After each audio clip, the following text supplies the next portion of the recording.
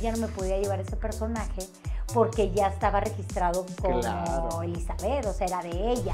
Decía, me sigo uniendo a ella, a que los eventos, y pues ya dale la mitad de todo, dale Sí, de esto. todo. O me armo un personaje nuevo y ya todo es para mí. El primer día que yo llegué ahí, todos me trataron de maravilla. Si me preguntas, ¿alguna vez se te subió? Yo digo que sí, pero tú no, a veces no te das cuenta. Sí, tuve un problema porque en ese entonces había un director que, que pues, de esos que te llevas bien y luego de repente por atrás te da la puñalada. Yo sabía lo que venía, yo sabía que nadie me conoce acá. Nadie, nadie. Yo sabía que iba a empezar desde cero, pero no me importa. Dije, ¿por qué? Y una vez faltó la principal, me pusieron a mí, ni siquiera me ayudaron y al último me hicieron sentir de la fregada. Y lo único que me dijeron, ah, vete a recursos. Y yo, desde ese momento dije, en la vida nadie me vuelve a hacer sentir así. A la chingada.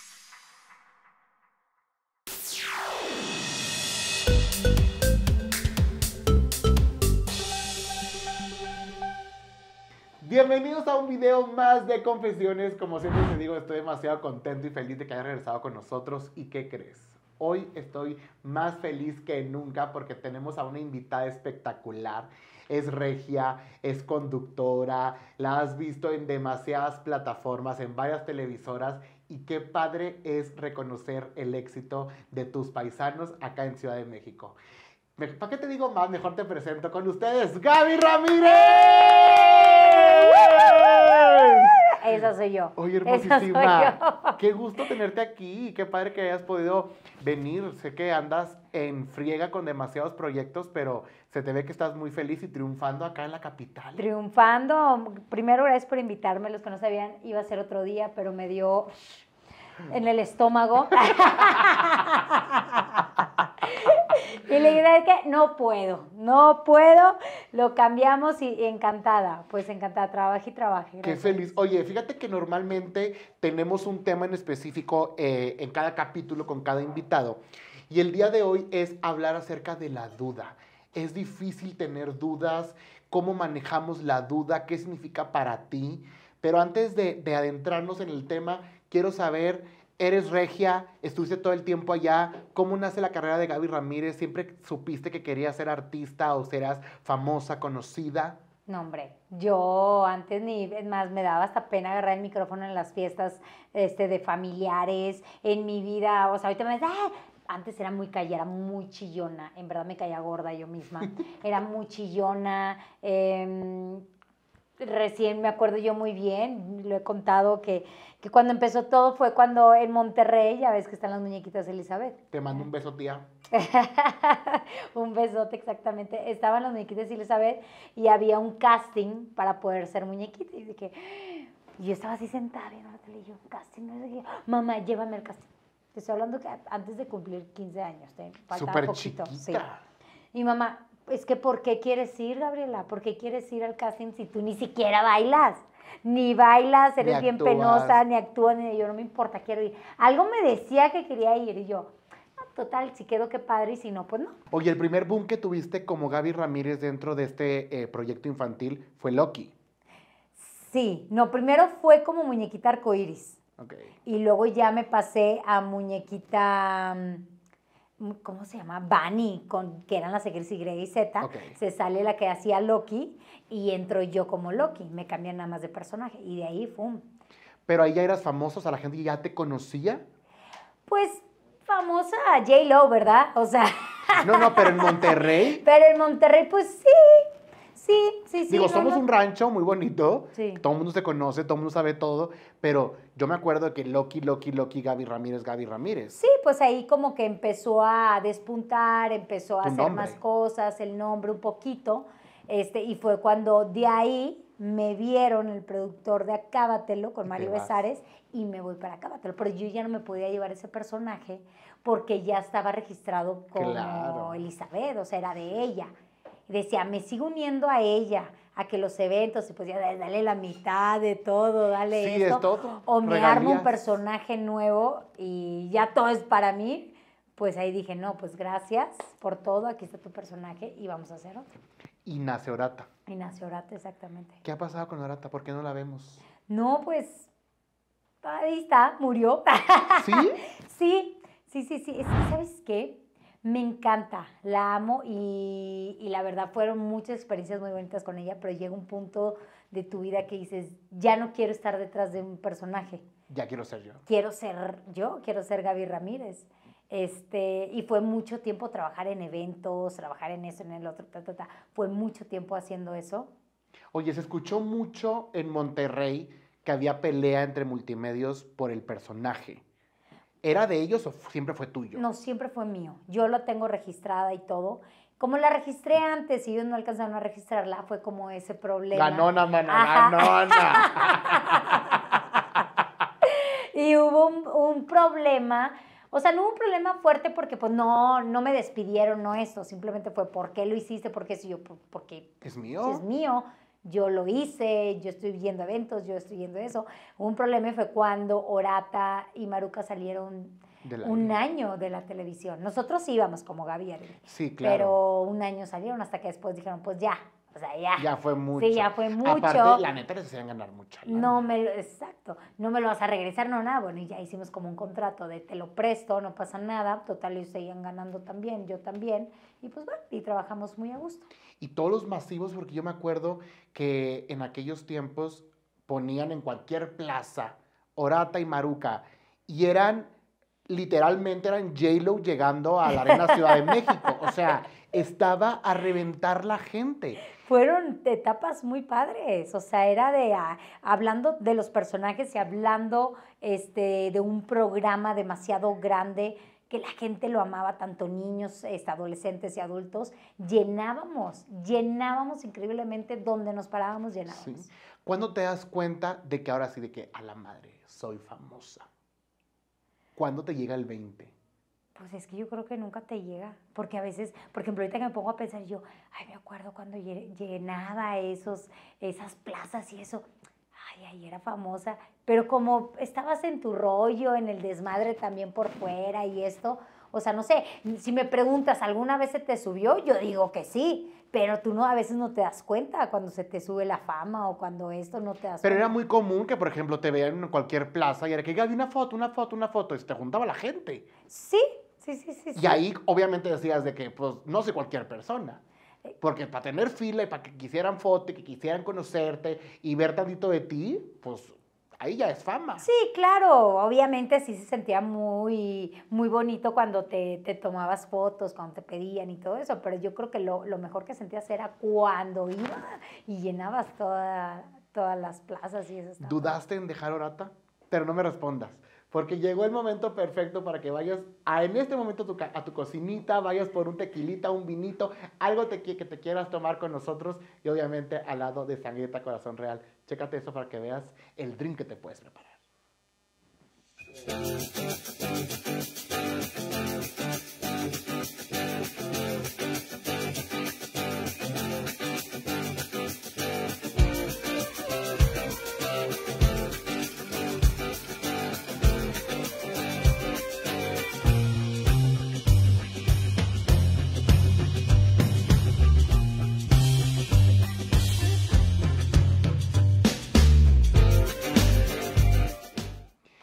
¿Dudaste en dejar a tu personaje que te llevó a, a que la gente te conociera tanto? No, pues era como mi bebé, era como parte ya de tu vida ese personaje, porque todo el tiempo lo traía puesto, de lunes a domingo, porque los fines de semana eran eventos. Sí llegué un momento en dije, ya basta, o sea, ya no quiero, ya no quiero. Pero pues era lo que te dejaba ahorita, o sea, Claro. no podías dejarlo, ay, sí, ya no quiero, pero espérate esto. Y me imagino que, por ejemplo, al tener un proyecto como Orata, que te dejaba demasiada lana, trabajar por televisora, pues no había comparación. Era muchísimo más lo que ganabas económicamente con tu personaje. Sí, sí, sí, sí, obviamente ganabas más el, por el personaje que en ese momento en donde estaba en esa televisora.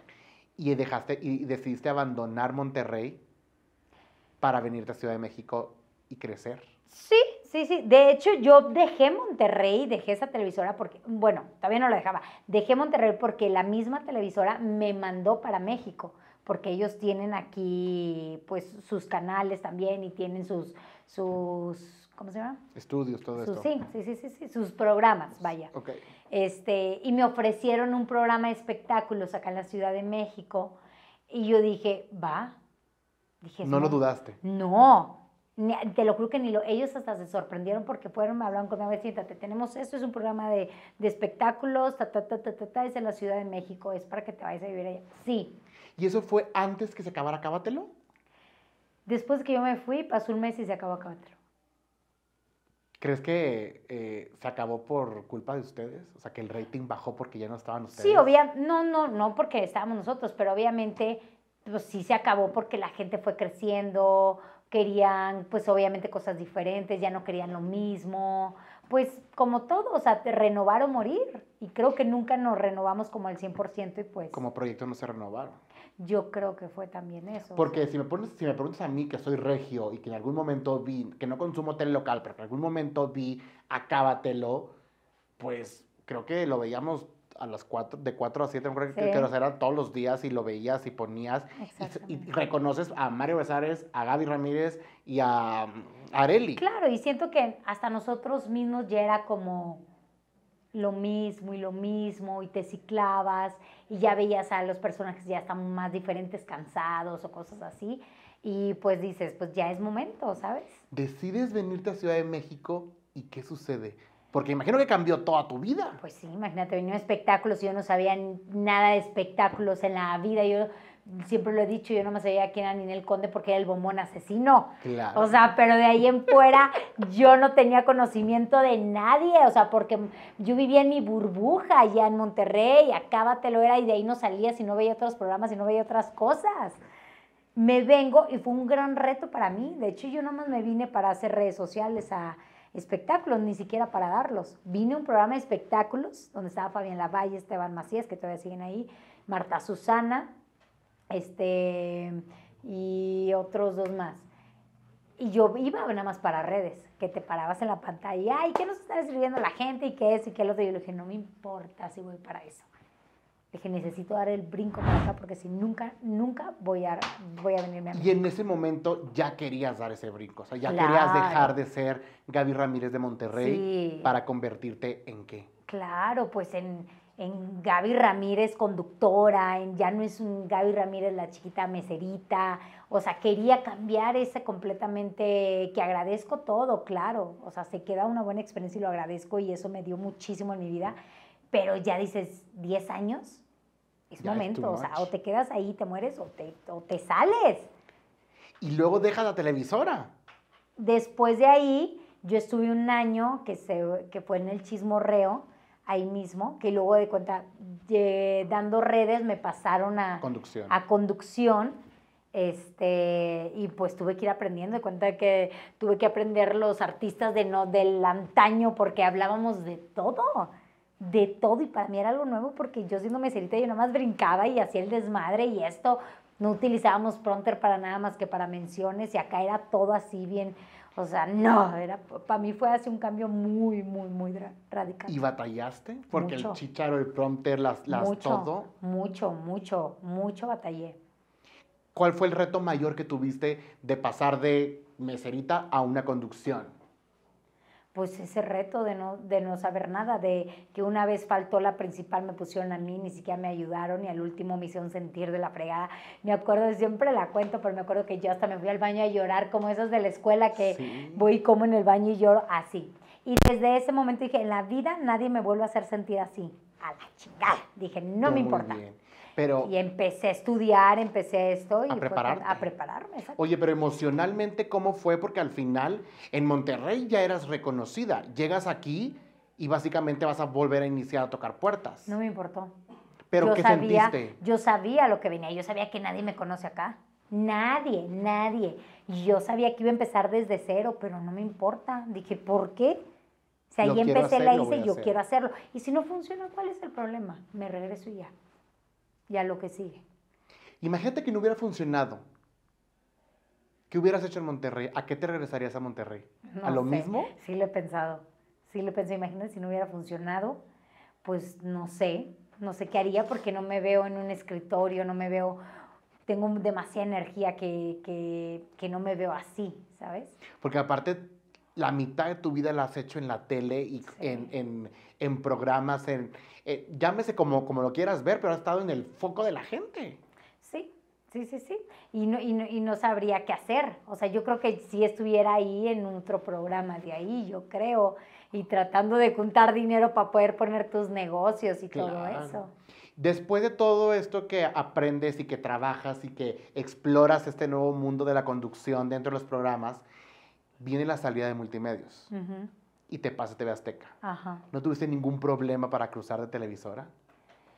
Sí, tuve un problema porque en ese entonces había un director que, que pues, de esos que te llevas bien y luego de repente por atrás te da la puñalada. Te mandamos un saludo. En verdad, sí, o sea, pues es real. Este, y me acuerdo yo muy bien, cumplí un año el Chismorreo y me hablaron para Azteca y fue de que, oye, hay esto, ¿qué onda? Y yo, me encantaría, claro que me encantaría. Este, y el que me habló fue un productor que se llama Hernán, que le mando un saludo muy especial, que por él estoy ahí, porque pues nadie me conocía y él era el único que desde hace cuatro años me estaba buscando, pero nunca se Guau. daban las cosas, jamás se daban. Hasta que dije, a ver, es momento. Si dices que no, bye. Ya, ya no hay otra. Sí, ya no hay otra.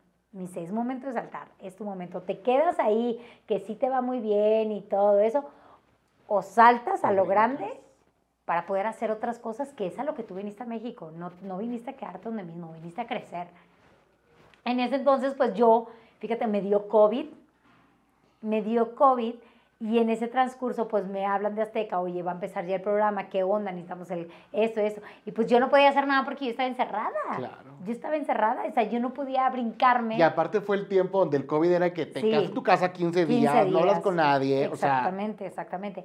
Entonces yo no podía ir a, a la tele- televisora donde estaba y decir, oye, este, ¿sabes que me están ofreciendo eso? ¿Qué onda? ¿Podemos arreglar? No podía hacerlo.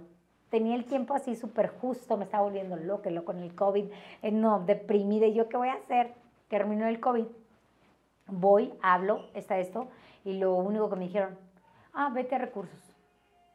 Y yo, o sea, yo vengo para ver qué podemos hacer, ¿sabes? No vengo como que a renunciar así o qué onda.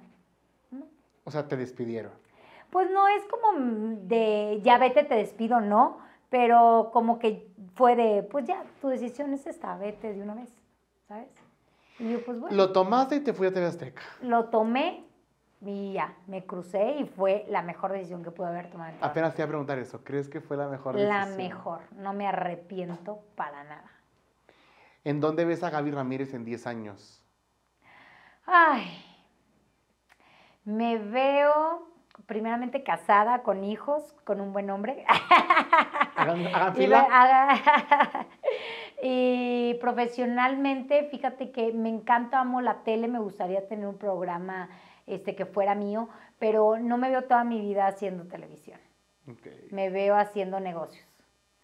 ¿Fue difícil brincar de una televisora, por ejemplo, Multimedios, ahora TV Azteca, en la que estás, y que conocemos que hay gente que ha estado también en Multimedios, que ha estado en Monterrey, y que hoy en día también son figuras Ujú. como Laura G? Ujú. Es difícil convivir con esta gente que sabe de dónde vienes, que a lo mejor puede intuir cosas y puede pensar y tener una, un discernimiento diferente. No me contestes, no me contestes, no me contestes. Vamos a refiliar lo que estemos tomando y ahorita regresamos con Gaby para que nos siga contando y que venga la dinámica espectacular que le vamos a sacar hasta lo que no. Uy. Gente lo ama. Se llama esponjabón, que es una maravilla porque es dos cosas en una. O sea, es esponja y jabón. Por un lado es jabón, por el otro lado es la esponja exfoliante. Y em, pues creo que es una maravilla. Hay varios eh, diferentes tipos. El que me mandaron a mí es el de concha nácar, cuya especialidad es quitar manchas y mm, aclarar la piel. Una verdadera maravilla. Lo voy a empezar a probar y les platico cómo me va, pero mientras yo lo pruebo, aquí les dejo todos los datos de la página, el perfil del esponjabón para que vayan a checar. ¿Te ha costado mantener relación con tus compañeros ahora en esta nueva televisora? Para nada. El primer día que yo llegué ahí, todos me trataron de maravilla. Y no te estoy diciendo porque quiero quedar bien con nadie, ni no. En verdad, desde el primer día hasta ahorita, todos me han tratado súper bien. como dices, una Laura G. Laura G fue el- la primera, me habló, me sentó lo que necesites, aquí estamos, somos regias, somos esto. Increíble, tiene un corazón enorme. Es que se dice mucho de ella, de que Pues es se muy dice, pero pues no la conocen. Gente que no en verdad no la conoce, pues yo creo. Pero a mí, mi experiencia vivida con ella desde el primer día en que yo la conocí, es maravillosa. Qué padre que llegues a un nuevo trabajo Sí. y que la yo gente te tenía miedo. reciba. Yo tenía mucho miedo. Yo, yo voy a llegar y pues sí, es otro nivel y todos me van a ver hacia, hacia abajo y soy la nueva y yo qué voy a hacer. Nada. Todos, pero estoy hablando de todos. O sea, todos me trataron de maravilla. Qué maravilloso. Es que aparte, digo, tienes un ángel. No es porque estés aquí, te lo digo en buen pedo. Siento que la, la, la forma en la que te conduces, en la que eh, hablas a la cámara, en, la, en esa eh, complicidad que generas con, con la gente, con el público, es maravilloso. Y tienes un- una vibra muy, muy, muy bonita. Pues es ser tú, es ser tú, no tener una doble cara, no estar en televisión de esta manera y por fuera de esta manera. No, así soy, así soy. ¿Has tenido que dejar de ser algo para pertenecer? No, jamás. No, no, no, no. No, y si un día lo llego a hacer, cállate, ¿no? Yo misma me doy las cachetadas porque jamás, o sea, funcionas más siendo tú. Sí, siento que eres como muy directa, muy Sí. honesta. Oye, Gaby, tenemos una dinámica muy, muy, muy bonita, porque aquí salen los peores demonios de los invitados. no te creas. Te voy a decir 10 palabras y tú me vas a decir lo primero que se te venga a la mente cuando te digo la palabra. Madre, Ok. ¿sabes? Ahorita ando bloqueada, pero venga. Nombre, tú, tú, tú puedes, tú Ok. puedes. Acoso, Em, eh, acoso, tocamientos, ok. Duda, vida, multimedios, aprendizaje, autoridad, jefe, orata. dinero. y mucho, ¡Y y mucho! ¡Onta! Discriminación, Eh, malo, no sé. empoderamiento, Eh, mujer, sexo, rico. feminismo, Eh, el mundo, no sé. Gaby Ramírez. Eh, chingona. ¿Quién es Gaby Ramírez? Una mujer con muchos sueños, una mujer que le encanta lo que hace, lo disfruta, eh, alguien que no va a parar hasta lograr lo que quiere y una mujer feliz. Se te ve. Sí. Se te ve, se te... eh, lo irradias. Lo irradias, se ve que sí eres. Gracias. Oye, hace rato mencionabas algo acerca de, de Orata, este personaje que, vuelvo a repetirlo, que fue un boom, que la gente lo sigue pidiendo. O sea, yo he visto en Monterrey que hay comentarios en cosas que, que salen y ahorita más, que por ejemplo en TikTok que vivimos de la nostalgia, de Ah, los sí. recuerdos que suben y es de que queremos que vuelva. ¿La volverías a sacar? Sí, sí, sí, sí la volvería a sacar. Si a la gente le gusta y todo. Es que es muy diferente el, ¿cómo te puedo decir? El Monterrey acá México. O sea, es muy diferente el humor. Sí. Hay muchos que el humor de Orata les gustaba en Monterrey, a lo mejor acá no, ¿sabes? Así que es cuestión de tiempo, de que le den una oportunidad de, de que la gente la vaya queriendo, pero pues ¿Nunca, tu- ¿Nunca te hubiera gustado ser como eh, Tatiana, como la reina de los niños, pero con este personaje? sí, ¿por qué no? Pero es muy cansado. Es muy cansado trabajar con niños. Amo a los niños, me encantan, pues muchísimo tiempo que trabajé con ellos, pero es muy cansado. Muy Te absorbe mucha energía. Sí, mucha energía. Sí, por sí yo tengo energía y luego con los niños más energía, ah, mutuamente nos absorbemos de la energía, o sea, pero es muy bonito. Ojalá que, que algún día podamos volver a, a darle vida a, a Orata, porque sé que la gente eh, lo quiere. O sea, Sí, sé, que, padre. sé que estaría padre. Ojalá que vengan proyectos que, que, que lo pueda sumar. Que aparte de crecer a Gaby Ramírez, que pues la neta es que está haciendo éxito, tienes un renombre. Eh, platicando con, con varias personas de que aquí me vas a entrevistar y yo, Gaby Ramírez, Gaby Ramírez, y todos de que, güey, wow, qué padre, qué padre, qué padre. Y gente de Ciudad de México, o sea, ni siquiera Ujú. gente de Monterrey a, la que, a las que a lo mejor te podrían conocer más. O Claro. sea, que has crecido tu nombre aquí en México, Sí, poco a que poco. estás eh, eh, eh, teniendo éxito. Claro, poco a Y poco. en la capital, mana, en la Sí, capital. no, claro que me siento orgullosa de mí misma por todo lo que he logrado, por este, los obstáculos que pasa ahí faltan muchísimo y para aprender muchísimo y para que la gente me conozca más muchísimo, pero vamos bien, vamos por el buen camino. Oye, antes ya para irnos, toda tu vida ha sido eh, llena de retos. Has estado em, ahora sí que a expensas de lo que piensas, de lo que dices, de lo que haces, cómo lo haces, porque todo lo que ha sido tu carrera ha sido un reto y un aprendizaje. Y obviamente, como lo dije al principio del video, ¿Cómo vives la duda? Siempre he tenido duda de mi trabajo, de mi relación, de mi, de mi familia, de mí misma, siempre la, o sea, yo digo, la, el que, o él o la que no vive con duda, pues mi respeto, o sea, no eres humano, pero todos vivimos con duda en algún momento. Lo importante es tener la duda, pero hacer las cosas. O por algo también la tienes, esa duda es como tu foquito rojo de, a ver, párate, aquí no, a ver, avánzale no, no, avánzale. O tengo la duda, pero me vale madre y voy a darle con todo y no me importa. Y le das. ¿Qué le dirías a la gente que a lo mejor se encuentra en una situación en la que está en duda, no sabe si tomar acción o no?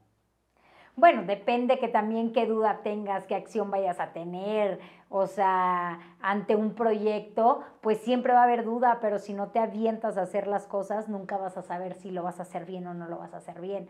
Este, mm, o a veces queda la duda de, güey, es que si no me sale bien esto, la gente se va a burlar. Que te valga lo que diga la demás gente. Tú dale y si no funciona, pues haces otra cosa. ¿Por qué? Porque a mí me pasaba mucho. Que decían, no, es que no, qué vergüenza. Y si saco esto y no se vende.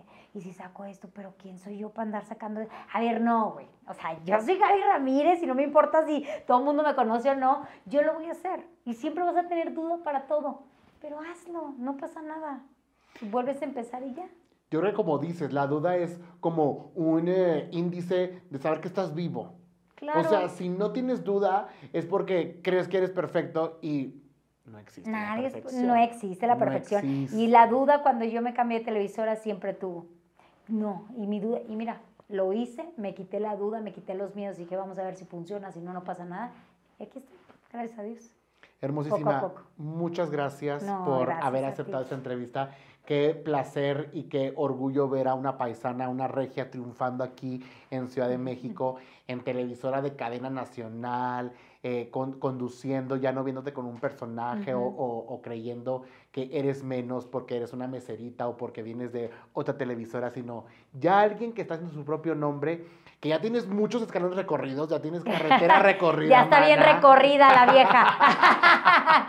Se escuchó así, está bien recorrida la morra. Profesionalmente, profesionalmente. Buena. Es lo, es lo que nos consta. Ay, qué ya estaba sudando. No, Yo dije, ¿quién, le, contó algo? ¿Quién le ha contado? No, no, no, Es cierto. Muchas gracias por estar. de verdad que, que, ha sido un placer, un orgullo. Te deseamos todo el éxito del mundo. Sabemos que, que vas a seguir eh, cumpliendo tus sueños y esperemos que, que, la duda sea parte de ti, que te haga sentir viva y que puedas tomar las mejores decisiones hoy y siempre. Ay, muchas gracias. Asimismo, te lo deseo a ti, ya sabes. Este próximo jueves 8.30 tenemos otra cita tú y yo. El día de hoy tuvimos a Gaby Ramírez, estuvo espectacular. El próximo jueves te veo para que no te la pierdas. Ya sabes, activa la campanita que te lleguen todas las notificaciones. Síguenos en nuestras redes sociales. Y esto fue Confesiones.